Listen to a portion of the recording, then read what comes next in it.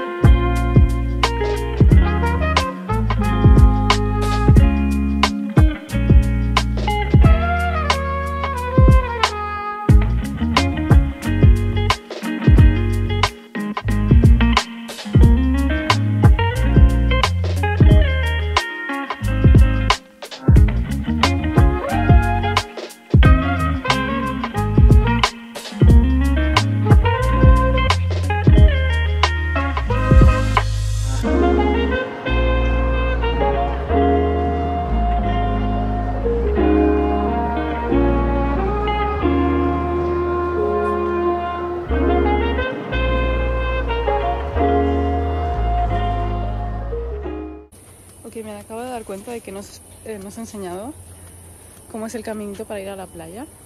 Esto es como lo que hay detrás de la casa. Entonces aquí llegamos a esta puerta. y por aquí como en dos minutos ya llego a la playa. Lo bueno es que de, de la gente que tenemos en la villa, tenemos a una persona como que guarda la casa todo el día y nos limpia y tal por la mañana y luego otra por la tarde-noche.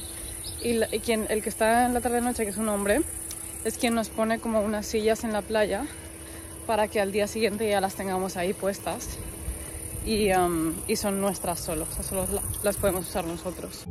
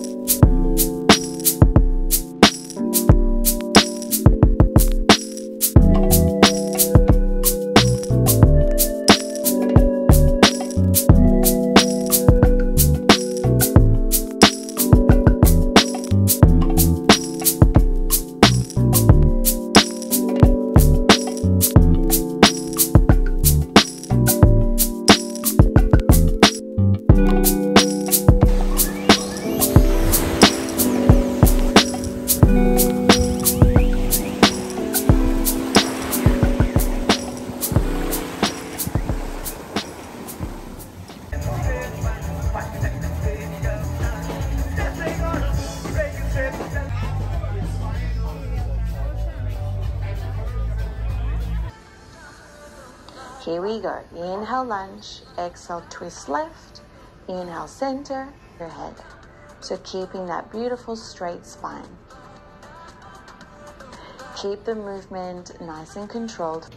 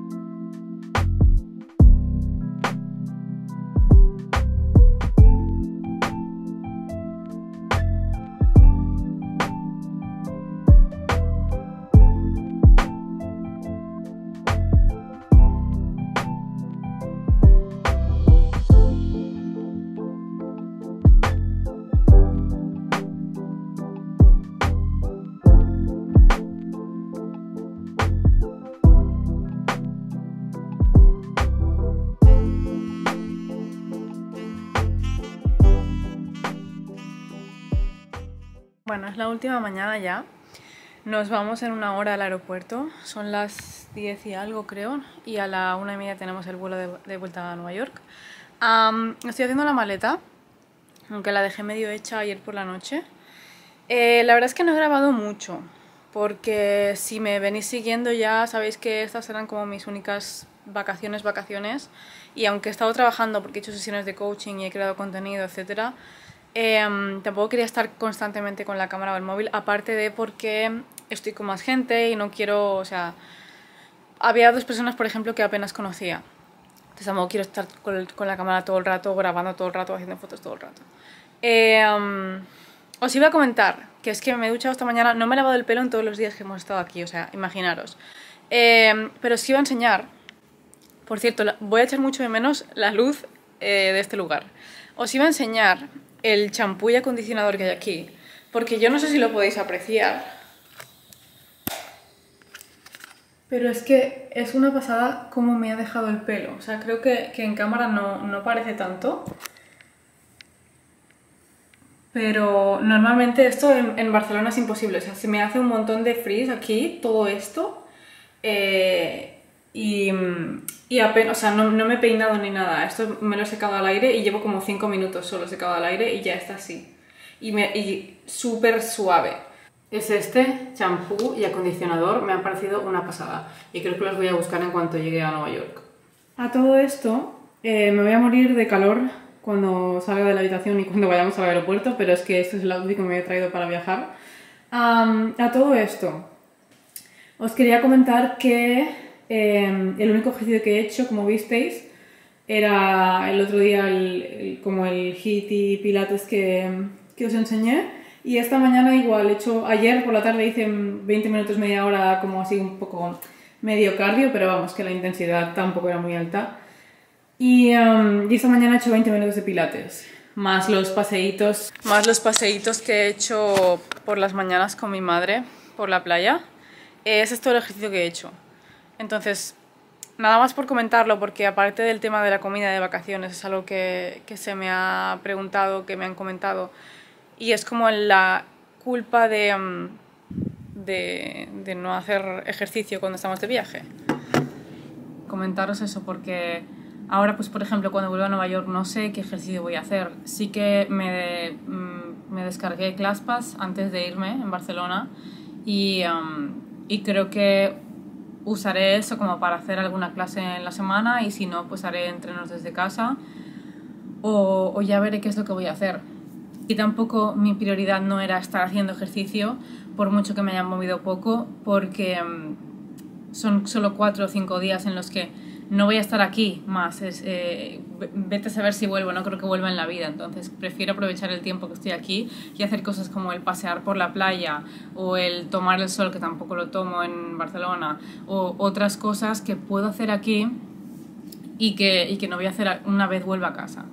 Eh, pero en cambio sí hacer ejercicio forma parte de mi estilo de vida, forma parte de, de, mis hábitos, es algo que me gusta, es algo que disfruto, entonces por eso he intentado incluirlo.